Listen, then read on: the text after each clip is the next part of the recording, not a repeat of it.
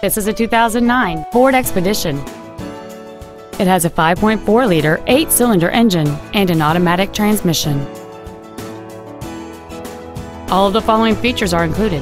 Dual power seats, air conditioning with automatic climate control, a power rear liftgate, leather seats, an engine immobilizer theft deterrent system, privacy glass, traction control, a passenger side airbag, cruise control, and this vehicle has fewer than 42,000 miles on the odometer.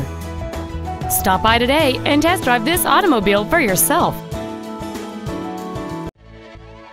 Thank you for shopping at Robinson Brothers Ford, located at 11455 Airline Highway in Baton Rouge.